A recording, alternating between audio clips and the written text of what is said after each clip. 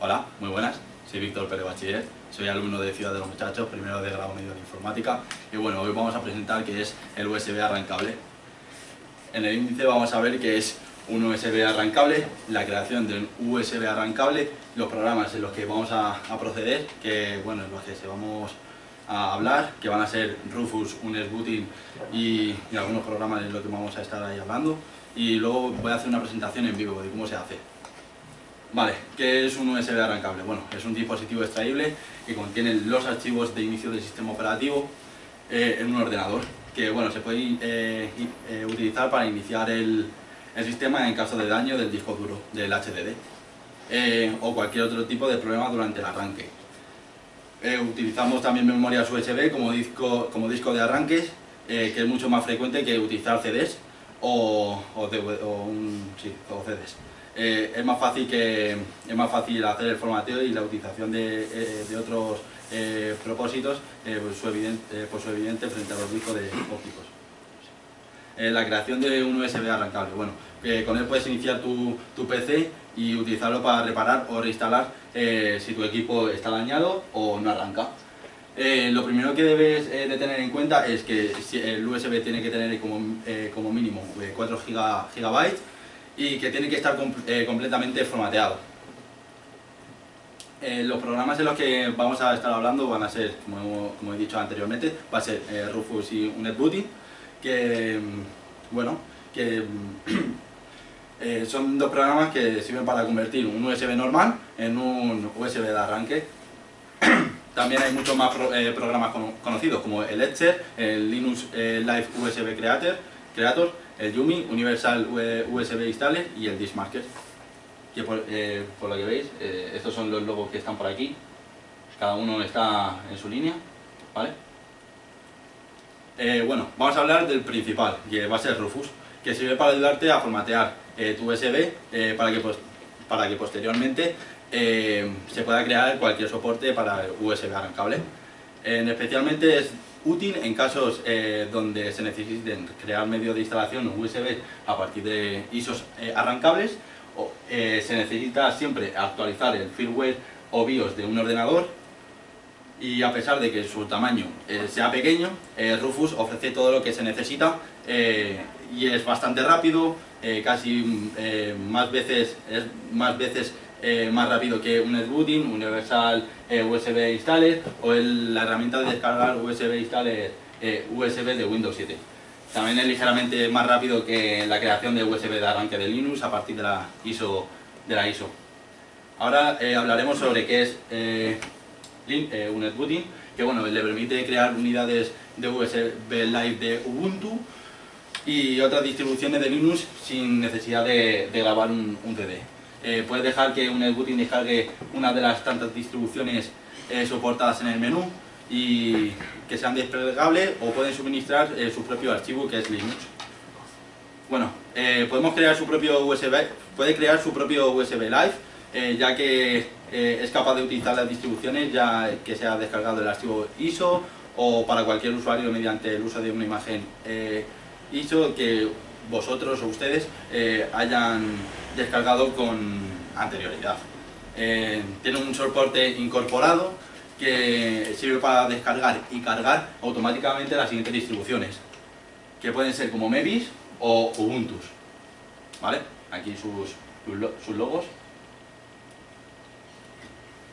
Y bueno, ahora presentaré un poco con capturas eh, cómo es el, el USB eh, arrancable. Bueno, cómo se hace. Vale, primero tendremos que ir a una página web en la cual sea, eh, bueno, en la que tengamos que eh, hacer que el, ahí, bueno, de aquí cogeremos lo importante, que es eh, descargar la ISO, ¿vale? La ISO de, lo que tú quieras. En este instante hemos cogido nosotros lo que es la Windows. Se descarga y se baja en la parte de abajo de la izquierda de una página web, en este caso Google Chrome, se descargará el archivo y aparecerá aquí abajo. El siguiente paso es eh, abrir ese archivo y que eh, lo, descomprimamos. Cuando hayamos descomprimido ese archivo aparecerá esta carpeta en la cual estará la ISO.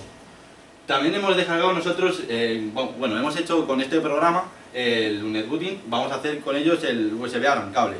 Entonces, ejecutamos la, aplicación o el programa. Y a partir de este momento vamos a hacer que este programa descargue la ISO de Windows 7 y bueno, se pueda crear esta, esta imagen. Lo que hemos hecho es que le hemos dado a esta parte, a disco imagen, le pinchamos a los tres eh, puntitos y donde se encontrará ya la, eh, descargada la ISO que es esta, MEMET86, que es de 32 bits y bueno, eh, ya lo siguiente es darle aceptar y lo que te hará es descargar ya la, ISO Windows 7 también tenemos otra manera, bueno, también incluye un netbooting como por ejemplo dando aquí a distribución dando a esta parte de arriba, a esta, eh, a esta pestaña, eh, te podrá salir otros programas como son eh, Clonecilla, eh, Web Antivirus, que bueno, Clonecilla ya sabemos que es un programa el cual sirve para clonar discos, em, discos duros, HDDs, y que el, Doctor Web Antivirus es un programa el cual sirve que ya está preinstalado, que lo que te hace es garantizar que no no haya ningún problema de, virus en el USB o en el, tema del, del, ordenador. Y bueno, ahora os enseñaré cómo se hace en, vivo. Y bueno, aquí veréis que se encuentra lo que hemos dicho. Bueno, lo ejecutamos. Este es el programa con el que vamos a utilizar el Lunet Booting vamos a utilizarle, eh, bueno, le abrimos, le ejecutamos, le damos a que sí y te aparecerá esta parte, como nos ha salido anteriormente en la captura. Vale. Después, lo que tendremos que hacer es darle a disco de imagen, vamos a los tres puntitos y nos vamos a equipo. En este caso pendrive V2, que es donde tengo yo la, la ISO. Le damos a, la, a la carpeta MMI test 86 4.3.7 ISO, ¿vale? Que aquí es donde se encuentra. Pinchamos este archivo y ya lo tendremos aquí puesto. Vale, le damos a aceptar y se empezará a descargar. Vamos aquí a yes, yes, y eso. Y ya se habría descargado. También podemos hacer lo anterior, que la abrimos Aquí lo que os había dicho que era distribución y la parte de selección de la distribución. Le damos aquí a esta viñeta y donde os saldrá el Arch Linux, el Clonecilla, CentOS, Doctor Web Antivirus, etc.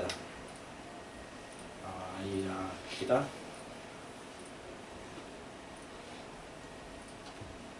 Y bueno, espero que les haya gustado y os haya servido de, mucha ayuda en la hora de instalar y aprender sobre qué es un USB arrancable. Muy bien. Oh, pues, no,